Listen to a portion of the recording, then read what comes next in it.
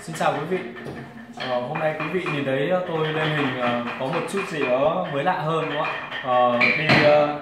giày da, quần âu, áo sơ mi. Uh, đó cũng là một cái tín hiệu rất là mới mẻ trong cái việc uh, phục vụ uh, đồ thủ công mỹ nghệ và chúng tôi muốn cải thiện nâng tầm cái hình ảnh để hướng tới một cái dịch vụ hoàn hảo hơn và quý vị thân mến những tác phẩm của tranh gỗ bùi gia thì luôn hàm chiếu những cái giá trị lịch sử những cái câu chuyện lịch sử ở trong những cái tác phẩm của chúng tôi và những cái giá trị lịch sử đó thì còn có những cái uh, triết lý ảnh hưởng sâu rộng và còn mãi đến ngày hôm nay. Và hôm nay thì chúng tôi xin giới thiệu tới quý vị một tác phẩm mới một tác phẩm chúng tôi vừa mới hoàn thành và trong đó có cả một cái câu chuyện uh, lịch sử còn bao hàm đến tận ngày nay. Và tôi xin trân trọng giới thiệu tới quý vị tác phẩm có tên là Tông Hầu. Và mời quý vị thưởng thức.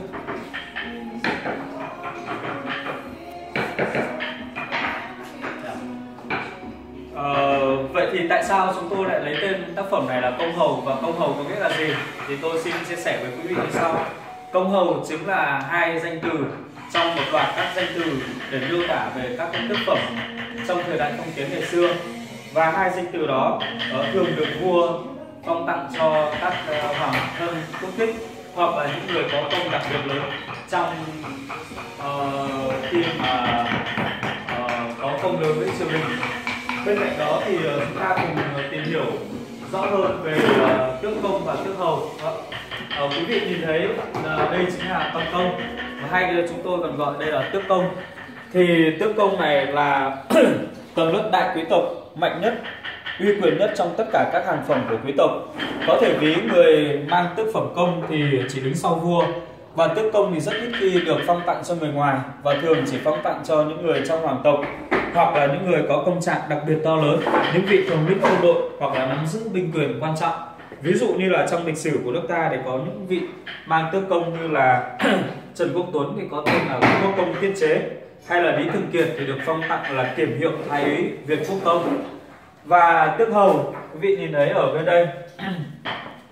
Tước hầu là tước, tước hiệu lớn thứ nhì trong giới đại quốc tộc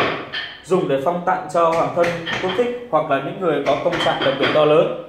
và ví dụ như trong lịch sử của nước ta thì có những người mang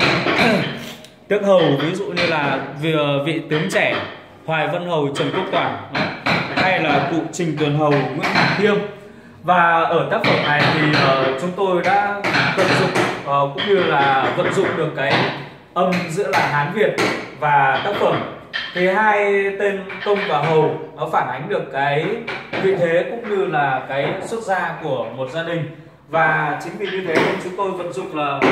công chính là con công, đúng không ạ? Hầu thì tiếng việt mình gọi đây là con khỉ, nhưng mà ở trong âm hán việt thì gọi là âm hầu. Và chính vì như thế thì cái tác phẩm âm hầu này nó sẽ tạo lên một cái giá trị liên quan về lịch sử cũng như là những cái câu chuyện rất là lớn. Và tại sao chúng tôi lại sáng tạo ra cái tác phẩm này? Thì nhân duyên đến với chúng tôi là có một anh khách hàng. Anh ấy đặt hàng của chúng tôi là muốn làm một cái tác phẩm để treo trong nhà thờ thì khi đó chúng tôi cũng nảy lên những cái ý định ví dụ như là tranh vui tranh sơn thủy hoặc là tranh đồng quê. Nhưng mà bản thân chúng tôi cũng cảm thấy các tác phẩm đó là không thể thuyết phục của mình. Và sau đó là chúng tôi cũng uh, suy nghĩ rất là nhiều và đưa ra một cái ý tưởng là hay là mình làm tác phẩm này thì sao? Và ngay sau khi giới thiệu tác phẩm này đến vị khách hàng đó thì họ cũng thực sự ngạc nhiên là không hiểu tại sao mà chúng tôi có thể sáng tạo được một cái tác phẩm hay đến thế và ngay lập tức khi mà xem mẫu này thì anh đã thưởng nóng cho chúng tôi 10 triệu tiền vé mẫu và uh, anh cũng có kể thêm với chúng tôi là tại sao anh lại quyết định chọn mẫu này và cảm thấy hạnh phúc khi mà được thưởng thức cái mẫu này. Đó là do anh chính là hậu duệ và xuất thân của của cụ ờ, uh, Nhức Xí. Và chính vì có một cái xuất uh, xuất gia rất là đặc biệt cũng như là vị thế gia đình rất lớn như thế cho nên là anh cảm thấy đây chính là một tác phẩm làm ra để anh treo tại nhà thờ của nhà mình vậy thì cụ Nguyễn Xí là ai và xuất thân của cụ ra sao thì tôi xin điểm qua những cái thông tin của cụ Nguyễn Xí. Cụ Nguyễn Xí sinh năm 1396 và mất năm 1465 thọ 69 tuổi. Ông là một vị tướng, một nhà chính trị và một nhà khai quốc công thần thời hậu lê.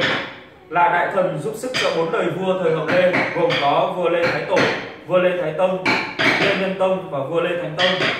và ông sinh ra tại xã nghi hợp nghi lộc nghệ an và quê gốc ở hà tĩnh. Công lao của ông gắn liền với quá trình xây dựng sự, sự nghiệp của Lê Lợi. Và ông đã đi vào lịch sử với những chiến chiến công lừng lẫy ở những địa danh như là Tốt Động, Trúc Động cũng như là người mà đánh phá uh, diệt được một tướng binh của Trung Quốc rất là nổi tiếng đấy là tướng uh, Vương Thông mà chúng ta đã biết trong lịch sử. Và ông được ví là khổng minh của Việt Nam. Khi ông cũng vận dụng cái tài năng đột xuất của mình uh, để lấy hàng vạn mũi tên của giặc giống như là khổng minh mượn ờ, hàng ngàn mũi tên của Tào Tháo trong trận uh, Đức. Và sau khi phò tá lê lợi cũng như là những vị vua khác uh, giành được độc lập và ông đã uh, sau khi lê lợi lên lên ngôi hoàng đế thì ông cũng được ghi nhận những cái công danh và lần lượt được phong các cái chức tước quan trọng. Ví dụ như vào năm 1429 thì ông được phong chức uh, làm huyện hầu và trong cái chức này thì có chữ hầu ứng với lại là cái chức này. Và đến tháng 6 năm 1460 thì ông được phong chức bình trương quân quốc trọng sự. Đây là một chức uh, ờ, nó tương đương với chức tể tướng. Và tể tướng là một người ờ, giữ vị trí đầu triều rất là lớn. Và tước á quận hầu uh, tước á quận hầu đấy và tháng 10 năm 1460 ông tiếp tục được thăng thưởng tước hiệu tùy quận công và trong đó thì có chức công là tước hiệu lớn nhất trong giới đại quý tộc đấy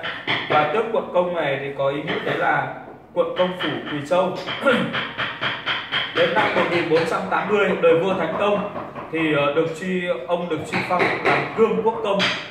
Và sau đó được phong làm phúc thần có nghĩa là được phong làm thần làm thần ờ, thành hoàng làng ấy và đặc biệt thì ông còn được uh, đổi quốc tính có nghĩa là được mang họ lê của vua vua vừa lê lợi. Và đánh giá về sự nghiệp cũng như cuộc đời của nguyễn xí thì vua lê thánh tông có viết rằng, khí độ trầm lắng và hùng mạnh, độ lượng lớn và cương nghị hơn người, giúp cao hoàng có nghĩa là vua lê lợi